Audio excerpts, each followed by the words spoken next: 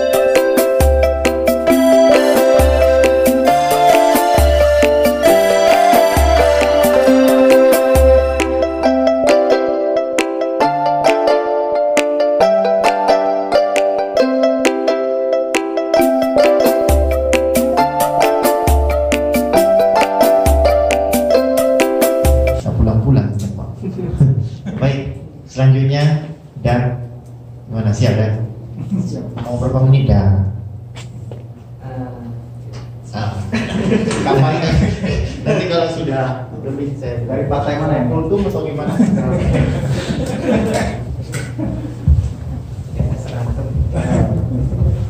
Assalamualaikum warahmatullahi wabarakatuh.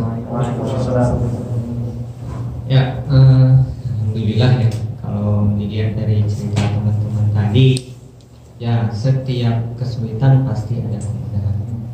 Di balik jalan mendaki pasti akan kita tiap temukan jalan kemudahan. Jadi apa ya namanya? Jadi eh, harus kita syukuri apa yang kita lalui, ya.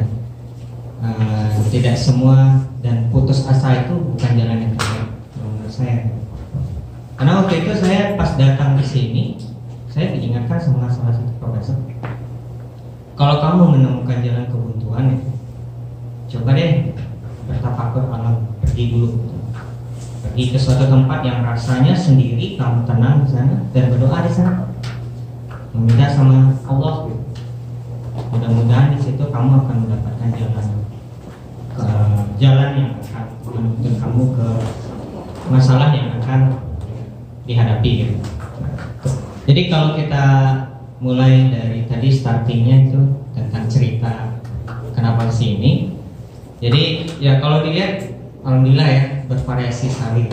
Dan saya sama seperti Mas Edi, itu saya lahir di Jambi sampai SD terus orang tua kena PHK waktu itu ya PHK besar-besaran tahun 99 itu ya. Biasa itu. Ah, jadi saya kembali ke ta- ke tanah kelahiran ibu saya. Karena dia itu di Sumatera Barat. Kebetulan- sama dengan Rahmat di Solok namanya Danau Singkarak kalau pernah dengar tur de Singkarak nah itu rumahnya di kecil. nah di situ saya sampai SMA sampai SMA dan alhamdulillah saya lulus di UI Nah, dan kuliah ini jadi ada tiga tempat ya di Jambi, Sumatera Barat dan Jawa Barat. Jadi jadi sama-sama barat ya di Jawa, di Jawa Barat dan Sumatera Barat. Ya kalau melihat ini apa namanya perjalanan hidup ya harus bersyukur sangat banyak bersyukur karena saya termasuk mungkin bisa dikatakan orang yang paling beruntung menurut saya karena enggak hmm, kalau ngelihat histori kehidupan ke seseorang mungkin tiap orang itu punya jalannya masing-masing gitu. dan saya pun juga punya jalan masing-masing dan kalau dilihat mungkin nggak nggak akan mungkin bisa sampai di gitu karena melihat biayanya cukup gitu cukup besar dan hidup di kota Jakarta yang memang biaya hidupnya sangat tinggi gitu. Nah, ya alhamdulillah saya juga dapat beasiswa UI dan sampai S2 saya dapat beasiswa tapi sambil saya kerja. Jadi kerjanya mungkin ya kalau anak UI biasanya rata-rata kerjanya apa? Biasanya kalau, kalau sambil kuliah ya saya jualan. Mungkin Iban pernah saya waktu itu jualan kue, terus atau habis pulang kuliah biasanya pada ngajar ya bimbel gitu, bimbel privat gitu. Nah itu lagi laku-lakunya kalau apalagi udah emblemnya anak UI gitu. Jadi lumayan gitu. Ya padahal sebenarnya kalau dilihat pas yang ngajarnya anaknya udah pintar juga gitu jadi ternyata pas datang ke situ ya cuma buat nemenin doang gitu. Wah sebenarnya saya di- cuma pengen jadi cari teman curhat aja gitu. Orang tua saya pulangnya udah malam. Wah ya sudah itu alhamdulillah jadi saya nggak perlu belajar juga gitu. Jadi banyak ngobrolnya padahal anaknya juga udah pintar juga gitu. Iya, wah itu saya juga udah siapin juga itu kan. Udah PR dulu, oh nanti ya saya jawab. Cewek cowok? Cewek cowok? Cewek kebetulan. Oh, gitu. Tapi saya nggak jadi gitu. Ya. Dan, dan ya alhamdulillah. Dan kemudian saya lulus S2, S2 kemudian saya ditawarin gitu untuk jadi dosen tapi waktu itu memang dosennya masih PKWT kontrak tapi sambil ngerjain proyek juga. Nah alhamdulillah eh, saya ada lowongan PNS waktu itu. Dan kebetulan cuma satu formasinya waktu itu. Dan alhamdulillah lolos dan berkat doa orang tua alhamdulillah alamin. Eh, cuma waktu itu ada tekanan pressernya di UI. Kalau dua tahun kamu nggak berangkat kalau dua tahun nggak berangkat sebelum dapat PNS gitu ya uh, keluar dari intinya begitulah. Wah itu pressernya tinggi juga kan nyari sekolahnya. Gimana nyari beasiswanya gimana? Ya udah boleh deh. Nyari uh, list sekolahnya dulu. Karena waktu itu kan LPDP ya. LPDP targetnya harus dapat sekolah dulu kalau atau dapat LOA unconditional. Kalau nggak salah waktu itu. LOA unconditional ini katanya waktu itu itu surat saktinya. Kalau udah dapat itu insya Allah gitu bisa bisa tembus lah gitu. Ya saya coba gitu dengan cara begitu. Dan coba email ke beberapa sensei. Kenapa saya pilih Jepang? Yang pertama keterbatasan bahasa juga. Yang kedua adalah karena Jepang Korea itu termasuk uh, salah satu negara yang industri perkapalannya baik. Jadi target saya memang waktu itu saya milihnya Hiroshima, Tokyo dan Kyushu. Alhamdulillah dari keempat profesor itu dua balas dua balas awalnya ke Kyushu saya udah hampir go udah hampir mau pergi. Tapi kebetulan beliau dapat in- uh, mengirimkan uh, sebuah email yang kalau bisa dibilang membuat saya jadi malas pergi gitu. Ada suatu perjanjian yang menyangkut tentang ibadah dan di situ saya jadi merasa gak nyaman gitu. Lebih baik saya milih yang lain karena daripada saya nanti terbatas untuk beribadah itu akan lebih relevan karena intinya semua perjalanan hidup kita ini kalau kita kembalikan lagi itu karena Allah SWT kalau kita makin jauh dari Allah ya tentunya Allah akan makin jauh dari kita. Dan kita akan berubah. Nah, jadi alhamdulillah ya saya pilih Hiroshima waktu itu dan alhamdulillah ya, saya satu PK sama udara jadi saya kalau ingat itu berangkat sama alhamdulillah nanti pulang sama ini tiketnya sudah sama saya beli bareng gitu pesawat sama alhamdulillah ini jodoh ini boy tanggal 30 Maret Sama pegangan. Iya. Sama Pak. Sama. Terus itu itu terkait motivasi mungkin bisa jadi salah satu motivasi juga ke depannya. Tapi kalau terkait eh, lab saya, saya dari lab. Eh, saya belum mau perkenalkan diri, mohon maaf ya. Nama saya Gary Wistom Putra, dipanggil Gary. Tapi kalau saya saya panggil saya Putra. Jadi Putra di sini double. Nah, kemudian saya juga di labnya adalah lab sam- lab structure, struktur kapal, desain struktur. Itu kenapa saya milih itu karena waktu itu saya memang di jurusan saya itu lagi meng-create eh, teknologi kapal. Mungkin ada yang pernah dengar.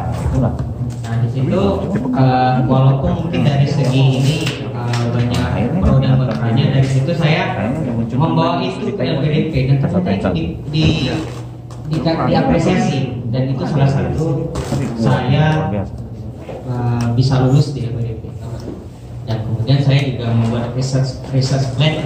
Ke sensei terkait itu.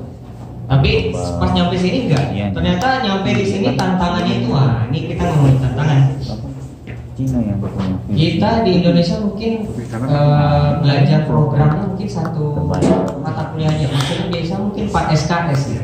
tapi kalau di sini ternyata teman-teman itu anak-anak di sini udah ngejeruk gitu ya untuk belajar program ini. Jadi enam bulan awal itu saya berusaha untuk belajar program ini enam bulan awal walaupun sampai sekarang masih ya banyak nanyanya gitu karena nggak apa mungkin kurang bakat atau gimana gitu ya? Saya kurang tahu juga. Tapi ya itu. Eh, tantangan saya itu di coding. Karena untuk men- apa menulis coding yang tepat itu bagaimana algoritmanya yang pas. Gitu. karena saat algoritma benar codingnya benar tapi kalau algoritmanya salah tetap juga yang hasilnya jadi kita jadi mau itu komputer numerik ataupun eksperimen pasti punya kelebihan dan kekurangan. Dan kita harus syukuri itu Ya, jadi kalau dari segi sensei, alhamdulillah saya mendapat sensei yang baik sekali. Dan alhamdulillah saya sudah waktu itu saya submit paper apa accepted paper saya di tahun eh, semester ketiga. Dan itu sudah salah satu minimum requirement untuk lulus dan satu eh, conference waktu itu. Jadi kalau di kita mungkin low ya, cuma tuntutannya harus di satu kalau sensei saya sudah. Ada sedikit petunjuk nah, itu cukup berat juga. dan saya Mas Wihati dan tantangan lainnya ada yang itu menunggunya Tapi menunggunya setidaknya hampir satu saya ada tahun. gambaran setelah ini kerja dan paper saya juga ini mungkin akan ada lagi baru tahun pertama. setelah saya lulus. Satu. Jadi masih apa yang namanya masih ada nabung gitu. Dan nggak tahu ini. Nah jadi ya kalau bisa dibilang kita ini punya ceritanya masing-masing Nah, ya kita syukuri dan jalanin aja. Kalau menurut saya ya intinya apa pun hambatannya kita kembalikan kepada yang satu gelap sejadah kita tengah malam ya minta sama uh, Allah SWT dan mereka kepadanya. Mudah-mudahan apa pun kesulitan kita akan diberikan jalannya. Jadi kalau terkait permasalahan masing-masing ya. Kalau sensei saya, saya- kalau saya lihat sih intinya komunikasi. Kalau saya lihat banyak kasus itu adalah komunikasi yang tidak efektif dengan sensei karena sensei ini macam-macam. Ada sensei yang baik ada yang sensei sangat care sama kita sampai kapan pun ditanya. Gitu. nah, itu sangat care. Jadi harus kita lihatnya secara positif gitu. kalau udah lihatnya nggak positif lain cerita. Jadi saat beliau care banget gitu ya wah kita kamu di mana? Lu udah kayak pacar aja atau apa ya? Ya harus di apa namanya harus kita apresiasi. Karena mungkin beliau lah pengganti orang tua kita di sini. Kalau kita sendiri di sini gitu. Yang menurut saya terus komunikasi dengan sensei itu harus dibangun dan kita harus mengerti perasaannya. Karena apa? Semuanya ini intinya berjalan dengan baik adalah karena komunikasi. Kita dengan istri tentu adanya komunikasi yang baik. Kalau komunikasi nggak baik akhirnya tidak baik. Jadi kalau sensei juga ma- macam-macam kita harus tahu karakter beliau kayak gimana. Apa yang tidak beliau apa yang tidak dia sukai apa? Apa yang beliau sukai? Nah, kalau ada yang dia sukai dan kita tahu mungkin itu salah satu cara kita untuk bisa- bukan menyuap ya. Lebih kayak meng, apa ya? Melunakkan hatinya gitu. Kita tahu caranya gitu. Jadi dengan begitu wah kita bisa ini nih jalan kita lebih lurus lah karena kalau kalau ya itu. Makanya sebelum saya datang tuh saya cari tahu dulu ini sensei ini sensei ini orangnya kayak gimana sih. Makanya kadang saya tanya juga ke teman-teman yang lain yang teman seleb itu sensei ini karakternya gimana? Ah, terus harus bisa ditemui berapa kali? Karena waktu itu saya pernah setiap sehari sekali ketemu. Saya ditegur sama teman saya. Kamu jangan tiap hari ketemu sensei. Paling enggak dua atau tiga kali dalam seminggu. Karena itu mengganggu dia. Oh gitu. Nah semenjak itu saya kurang nah jadi hal-hal yang receh begitu ternyata mempengaruhi psikis juga ya kira-kira itu. Mungkin lebih dari 10 menit kayaknya saya bicara. Jadi mudah-mudahan ada yang bisa diambil uh, hikmahnya. Assalamualaikum warahmatullahi wabarakatuh. Terima kasih banyak udah Gary atas uh, sharingnya. Luar biasa sekali. Uh, untuk mempersingkat waktu juga ya kita memang harus juga uh, beres-beres